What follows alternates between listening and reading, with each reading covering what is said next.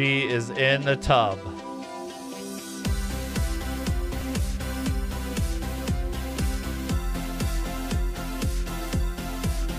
Thick. Uh,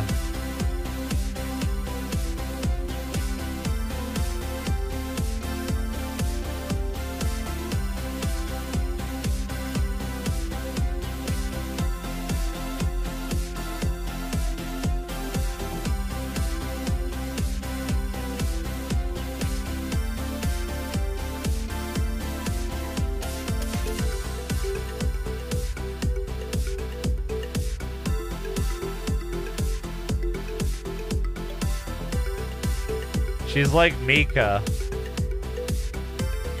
Therefore, I love her.